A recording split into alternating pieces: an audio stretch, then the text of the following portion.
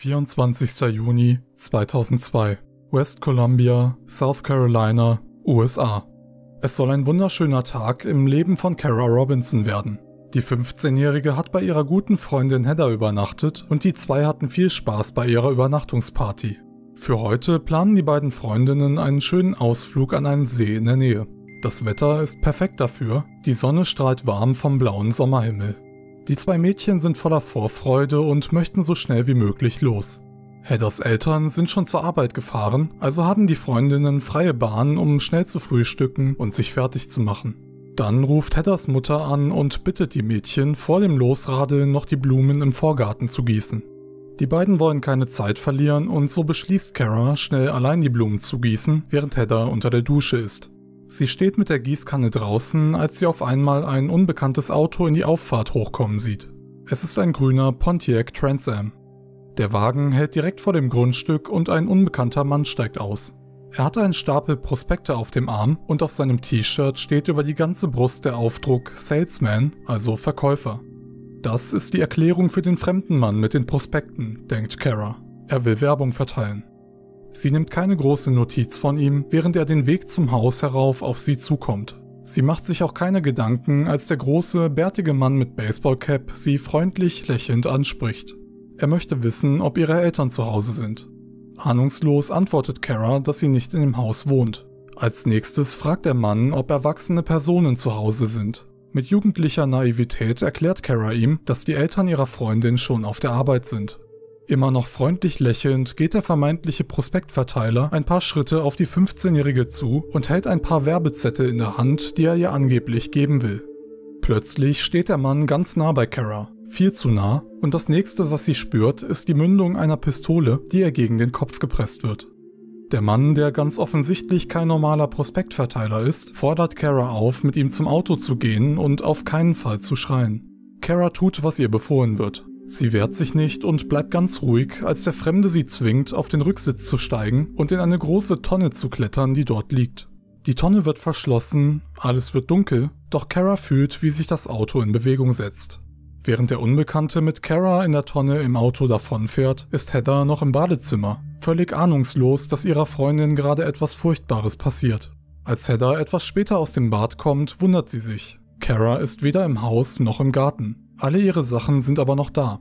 Heather versteht nicht, wohin ihre Freundin verschwunden ist, denn die beiden hatten doch schließlich vor, den Tag zusammen am See zu verbringen. Sie überkommt ein ungutes Gefühl und sie ruft Karas Eltern an. Auch die haben nichts von Kara gehört, genauso wenig wie alle anderen, was sich schon in den nächsten Stunden herausstellen wird.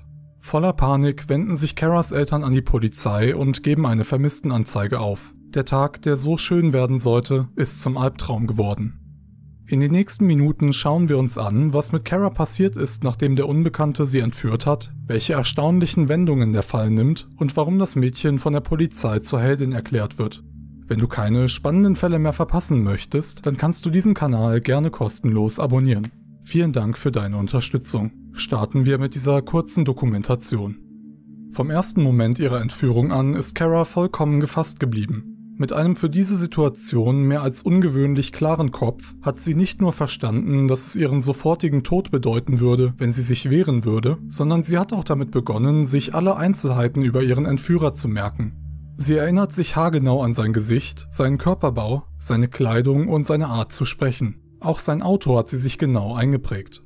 Kara macht sich auch im Auto, während sie in der Tonne liegt, weiter ihre geistigen Notizen. Sie merkt sich, wie oft das Auto links und rechts abbiegt, in der Hoffnung, bei nächster Gelegenheit flüchten zu können und schnell den Weg zu Heathers Haus zurückzufinden. Sie hört auf die Musik, die im Hintergrund läuft, und prägt sich sogar die Seriennummer der Tonne ein, in der sie liegt.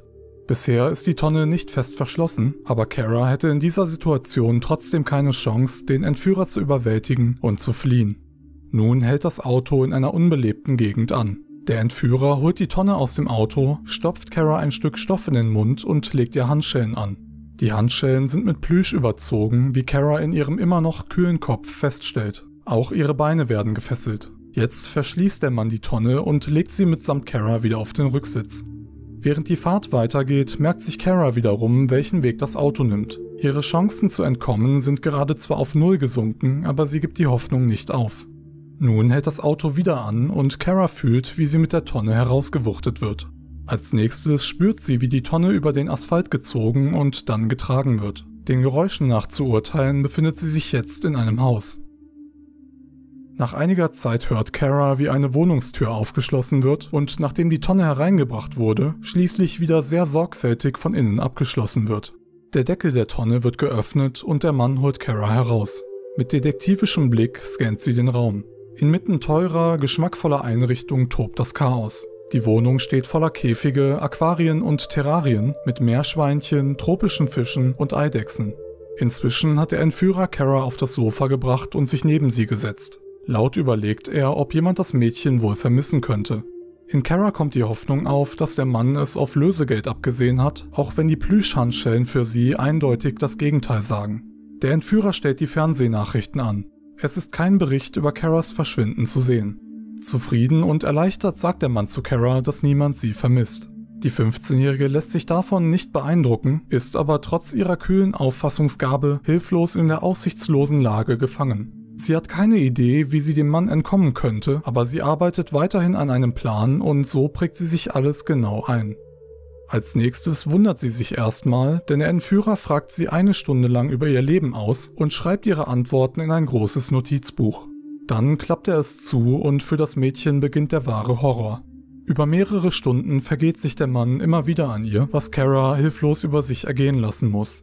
All ihre bisherige Gelassenheit und ihre geistige Stärke können nicht verhindern, dass der Mann ihr das antut, was er von Anfang an vorhatte.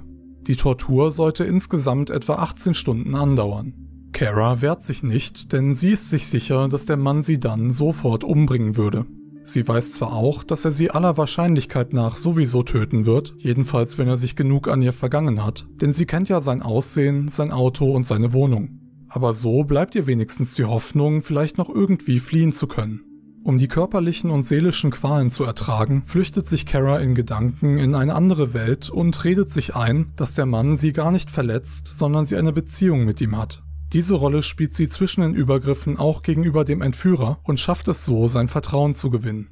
Deshalb darf sie allein ins Badezimmer gehen und in der Küche etwas essen und trinken. Erstaunlicherweise nutzt sie diese Gelegenheiten weiter, um sich Hinweise auf die Identität und das Leben des Verbrechers zu merken. Sie entdeckt Quittungen von Läden, in denen er eingekauft hat, den Namen seines Arztes sowie seines Zahnarztes, Frauenkosmetikprodukte und eine Haarbürste mit langen roten Haaren. So schlussfolgert sie, dass ihr Peiniger eine Beziehung mit einer Frau hat, die möglicherweise sogar in derselben Wohnung wohnt. All das nützt ihr jedoch erstmal nichts. Ihre Chance kommt erst viele grausame Momente später, als ihr Peiniger aus Unachtsamkeit seine Pistole unbeaufsichtigt in Karas Reichweite liegen lässt. Kara entscheidet sich dazu, die Chance nicht zu nutzen. Sie hat das Gefühl, dass der Versuch, den Mann mit der Waffe zu überwältigen und zu flüchten, sehr schnell schiefgehen könnte und mit ihrem eigenen Tod enden würde. Sie lässt die Torturen also weiter über sich ergehen, ungewiss, ob sie noch eine Chance zur Flucht bekommen wird. Ein paar Stunden später ist der Mann müde und verabreicht Kara Schlaftabletten, damit sie nicht weglaufen kann, während er schläft. Um ganz sicher zu sein, fesselt er sie noch mit den Plüschhandschellen an das Bett. Dann legt er sich neben sie und schläft ein. Trotz der Tabletten wacht Kara früher als der Entführer auf. Jetzt sieht sie ihre große, einmalige Chance. Geschickt windet sie eine Hand aus den Handschellen, sodass sie sich aus dem Bett befreien kann. An der anderen Hand hängen die Handschellen noch, während sie sich lautlos aus dem Bett und auf Zehenspitzen zur Tür bewegt. Sie muss sehr schnell und gleichzeitig sehr leise sein. Fast geräuschlos öffnet sie die Tür und schlüpft ins Treppenhaus. Nun rennt sie, so schnell sie kann, die Treppen hinunter und raus auf die Straße. Die ganze Zeit über befürchtet sie, dass sie von hinten gepackt und in die Wohnung zurückgezerrt wird, doch das geschieht glücklicherweise nicht. Sichtlich aufgelöst und immer noch mit den Handschellen an einem Handgelenk stoppt sie das erstbeste Auto und springt hinein. Die zwei Männer, die darin sitzen, verstehen sofort, dass es ernst ist, als Kara ihnen eilig erzählt, was los ist. Sie bittet die Männer, sie zur Polizei zu fahren und das machen sie ohne zu zögern. Auf der Polizeiwache erntet Kara jedoch erstmal ungläubige Blicke. Es scheint den Ermittlern unwahrscheinlich, dass ein entführtes Mädchen sich selbst befreit und dann auch noch mit so einer Klarheit über ihren Entführer berichtet. Sie vergleichen Karas Personalangaben und ihr Gesicht aber mit den vermissten Anzeigen und werden fündig. Es ist tatsächlich die 15-jährige Kara Robinson, die am Tag zuvor verschwunden ist und nun durch ihren eigenen Einsatz wieder aufgetaucht ist. Jetzt sind die Ermittler nicht mehr ungläubig, sondern voller Bewunderung. Kein ihnen bekanntes Entführungsopfer hat jemals so gehandelt. Kara will aber gar nicht bewundert werden. Sie will nur noch den Täter so schnell wie möglich zur Strecke bringen. Sie führt die Polizei nun also zu dem Haus, in dem der Mann wohnt. Allerdings hat sie beim Weglaufen etwas Wichtiges vergessen. Sich zu merken, in welchem Stockwerk und hinter welcher Tür die Wohnung ist. Der Hausmeister kann auch nicht helfen, bis Kara ihm beschreibt, wie der Mann aussieht und erzählt, dass er mit einer rothaarigen Frau zusammenlebt. Da klickt es beim Hausmeister. Er weiß sofort, das kann nur Richard Evonitz mit seiner Frau Hope sein. Als er den Beamten erzählt, dass das Ehepaar einen grünen Pontiac Trans Am fährt, wissen sie sofort, Richard Evonitz ist der Täter, den sie suchen. Der Hausmeister führt die Ermittler und Kara zu der Wohnung und öffnet mit dem Ersatzschlüssel die Tür, nachdem niemand auf das Klopfen reagiert hat. Die Wohnung ist leer, der Täter ist weg. Er muss gemerkt haben, dass Kara weg ist und geflüchtet sein, weil er befürchtet, dass die Polizei gleich vor der Tür steht. Was er nicht bedacht hat, nun haben die Beamten die perfekte Gelegenheit, ganz ungestört die Wohnung zu durchsuchen. Sie finden viel mehr Beweise, als sie erwartet haben, und zwar nicht nur über Karas Entführung. Die Ermittler entdecken das Notizbuch und eine gut versteckte, verschlossene Box, in der sich diverse ausgeschnittene Zeitungsartikel befinden. In den Artikeln geht es um die Entführungen von drei Mädchen aus Virginia. Die 16-jährige Sophia Silver, die 15-jährige Kristin Lisk und ihre jüngere Schwester Katie Lisk. Alle drei sind in den Jahren 1996 bis 1997 in der Gegend von Spotsylvania verschwunden. Sie wurden am helllichten Tag entführt, genauso wie Kara. Sophia wurde sogar ebenfalls aus dem eigenen Garten entführt. Kristin und Katie verschwanden auf dem Nachhauseweg. Sie stiegen noch aus dem Bus aus, danach wurden sie nie wieder gesehen. Später wurden alle drei leblosen Körper an unterschiedlichen Orten in der umliegenden Landschaft gefunden.